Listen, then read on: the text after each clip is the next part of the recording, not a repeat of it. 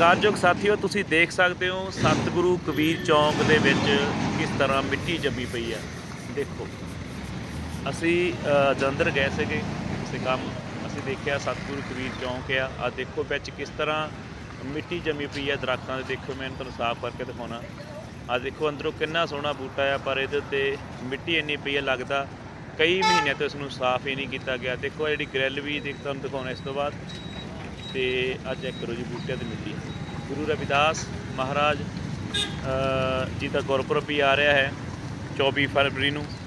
ਤੇ ਇਹ Nakodar to Jalandhar road ਆ ਜੀ, ਆਪਣੇ ਟੀਵੀ ਟਾਵਰ ਦੇ ਬਿਲਕੁਲ ਕੋਲ। ਆ ਤੁਸੀਂ ਚੈੱਕ ਕਰੋ।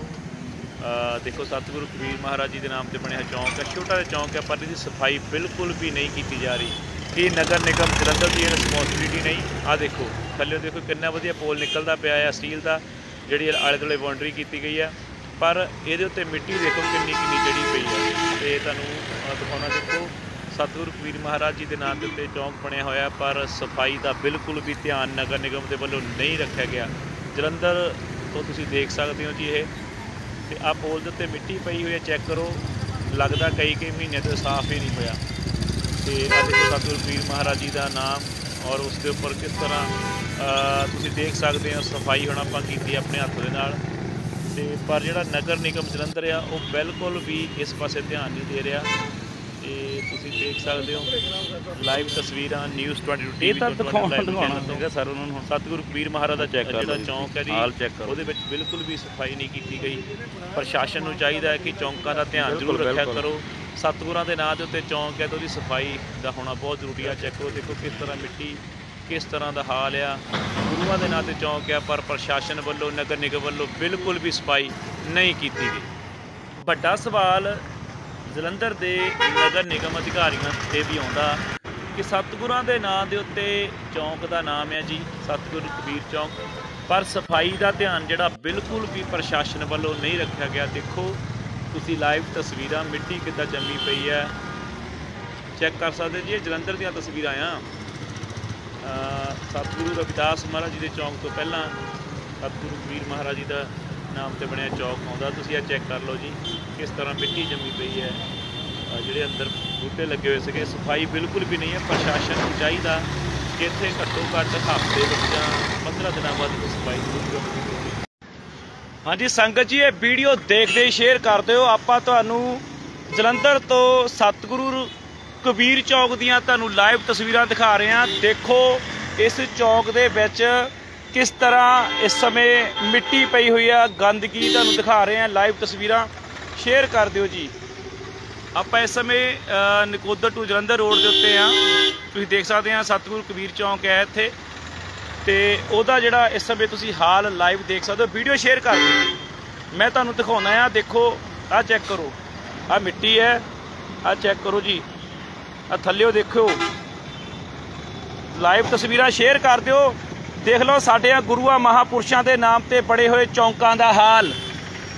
ਪ੍ਰਸ਼ਾਸਨ ਕੁੰਭਕਰਨ ਦੀ ਨੀਂਦੇ ਸੁੱਤਾ ਹੋਇਆ। ਛੋਟਾ ਜਿਹਾ ਇੱਕ ਚੌਂਕ ਆ, ਇਹਦੇ ਅੰਦਰ ਹਰਿਆਲੀ ਫੁੱਲਾਂ ਦੇ ਬੂਟੇ ਤਾਂ ਕੀ ਲਾਉਣੇ? ਜਿਹੜੇ ਬੂਟੇ ਲੱਗੇ ਹੋਏ ਆ, ਉਹਨਾਂ ਦਾ ਹਾਲ ਦੇਖ ਲਓ। ਆਹ ਚੈੱਕ ਕਰ ਲਓ ਜੀ। ਆਹ ਦੇਖੋ, ਆਹ ਬੂਟਾ ਆ, ਚੈੱਕ ਕਰਿਓ। ਆਹ ਵੀਡੀਓ ਸ਼ੇਅਰ ਕਰ ਦਿਓ ਨਾਲ ਹੀ। ਆਹ ਦੇਖੋ। ਇਦਾਂ ਲੱਗਦਾ ਜਿੱਦਾਂ ਕਈਆਂ ਸਾਲਾਂ ਤੋਂ ਇਹਦੀ ਕਿਸੇ ਨੇ ਸਫ਼ਾਈ ਨਹੀਂ ਕੀਤੀ ਆ ਚੈੱਕ ਕਰੋ ਥੱਲਿਓ ਤੁਸੀਂ। ਆਹ ਦੇਖੋ।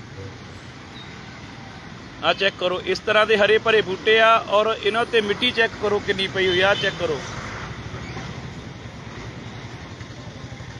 ਇਹ ਦੇਖ ਲਓ ਜੀ, ਸਾਡਿਆਂ ਗੁਰੂਆਂ ਮਹਾਪੁਰਸ਼ਾਂ ਦੇ ਨਾਮ ਤੇ ਬਣਿਆ ਹੋਇਆ ਚੌਂਕ ਹੈ। ਧੰਨ ਧੰਨ ਸ੍ਰੀ ਗੁਰੂ ਗ੍ਰੰਥ ਸਾਹਿਬ ਜੀ ਦੀ, ਜੀ ਦੇ ਵਿੱਚ ਗੁਰਬਾਣੀ ਦਰਜ ਆ, ਸਤਿਗੁਰੂ ਕਬੀਰ ਸਾਹਿਬ ਜੀ ਦੀ। ਔਰ ਉਹਨਾਂ ਦੇ ਨਾਮ ਦੇ ਉੱਤੇ ਬਣੇ ਹੋਏ ਚੌਂਕ ਦੀ ਜਲੰਧਰ ਸ਼ਹਿਰ ਮੇਨ ਸਿਟੀ ਦੇ ਵਿੱਚ ਬਣੇ ਹੋਏ ਚੌਂਕ ਦੇ ਹਾਲਾਤ ਦੇਖ ਲਓ ਸਾਥੀਓ। ਤੁਸੀਂ ਲਾਈਵ ਤਸਵੀਰਾਂ ਦੇਖ ਸਕਦੇ ਹੋ। ਸਤਿਗੁਰੂ ਕਬੀਰ ਚੌਂਕ ਦਾ ਹਾਲ ਚੈੱਕ ਕਰੋ। ਇੱਥੇ ਦੇਖੋ, ਲੋਕਾਂ ਨੇ ਸਫ਼ਾਈ ਕਰਨ ਦੀ ਬਜਾਏ ਇਹਨੂੰ ਹੋਰ ਵੀ ਗੰਦਾ ਕੀਤਾ ਹੋਇਆ। ਚੈੱਕ ਕਰੋ ਬੂਟਾ। ਤੇ ਬੂਟੇ ਦੇ ਉੱਤੇ ਸਾਰੀ ਮਿੱਟੀ ਪਈ ਹੋਈ ਹੈ। ਵੈਸੇ ਬੂਟਾ ਇਸ ਤਰ੍ਹਾਂ ਦਾ ਹਰਾ ਭਰਿਆ, ਤੁਹਾਨੂੰ ਲਾਈਵ ਦਿਖਾਉਂਦਾ ਪਿਆ। ਵੀਡੀਓ ਵੱਧ ਤੋਂ ਵੱਧ ਸ਼ੇਅਰ ਕਰ ਦਿਓ ਤਾਂ ਕਿ ਕੁੰਭਕਰਨ ਦੀ ਨੀਂਦੇ ਸੁੱਤਾ ਪਿਆ ਪ੍ਰਸ਼ਾਸਨ ਸ਼ਾਇਦ ਜਾਗ ਪਾਵੇ। ਜਲੰਧਰ ਦਾ ਮੇਨ ਚੌਂਕ ਹੈ ਇਹ, ਸਤਿਗੁਰੂ ਕਬੀਰ ਚੌਂਕ। ਤੁਸੀਂ ਦੇਖ ਸਕਦੇ ਹੋ, ਉਹਦੇ ਹਾਲਾਤ ਚੈੱਕ ਕਰੋ ਆ ਦੇਖੋ, ਲੋਕੀ ਖਾ ਖਾ ਕਿੱਦਾਂ ਸਮਾਨ ਸਿੱਟ ਰਹੇ ਇੱਥੇ। ਆਹ ਚੈੱਕ ਕਰੋ, ਆਪਣੇ ਆਪ ਹੀ ਉੱਗੇ ਹੋਏ ਬੂਟੇ, ਇਹਨਾਂ ਦਾ ਹਾਲ ਦੇਖ ਲਓ। ਇੰਜ ਲੱਗਦਾ ਜਿਵੇਂ ਕਈਆਂ ਸਾਲਾਂ ਤੋਂ ਇਸ ਚੌਂਕ ਦੇ ਵੱਲ ਕੋਈ ਵੀ ਨਹੀਂ ਆਇਆ। ਜਲੰਧਰ ਦਾ ਪ੍ਰਸ਼ਾਸਨ, ਕਾਰਪੋਰੇਸ਼ਨ ਕਿੱਥੇ ਆ? ਇੱਕ ਵੱਡਾ ਸਵਾਲ ਜਿੱਥੇ ਜਲੰਧਰ ਦੇ ਪ੍ਰਸ਼ਾਸਨ ਤੇ ਉੱਠਦਾ ਆ, ਉੱਥੇ ਹੀ ਸਥਾਨਕ ਜਿਹੜੀਆਂ ਸੰਗਤਾਂ ਆ, ਜਿਹੜੀਆਂ ਗੁਰੂ ਗ੍ਰੰਥ ਸਾਹਿਬ ਜੀ ਨੂੰ ਮੰਨਦੀਆਂ ਹਨ, ਉਹਨਾਂ ਦੀ ਵੀ ਜ਼ਿੰਮੇਵਾਰੀ ਬਣਦੀ ਹੈ ਕਿ ਇਕੱਲਾ ਪ੍ਰਸ਼ਾਸਨ ਤੇ ਹੀ ਨਾ ਸੁੱਟੀ ਜਾਵੇ ਗੱਲ। ਅਗਰ ਪ੍ਰਸ਼ਾਸਨ ਇਹਦੀ ਸਾਫ਼ ਸਫ਼ਾਈ ਨਹੀਂ ਕਰਦਾ ਤਾਂ ਸੰਗਤਾਂ ਆਪਣੇ ਲੈਵਲ ਤੇ ਵੀ ਇਹਦੀ ਸਾਫ਼ ਸਫ਼ਾਈ ਕਰ ਸਕਦੀਆਂ। ਤੁਸੀਂ ਇਹ ਦੇਖ ਸਕਦੇ ਆ, ਮਿੱਟੀ ਲੱਗਦਾ ਕਈਆਂ ਮਹੀਨਿਆਂ ਤੋਂ ਜੰਮੀ ਪਈ ਆ। ਅੰਦਰ ਮੈਂ ਤੁਹਾਨੂੰ ਦਿਖਾਉਣਾ ਆ, ਦੇਖੋ, ਛੋਟਾ ਜਿਹਾ ਚੌਂਕ ਹੈ ਇਹ।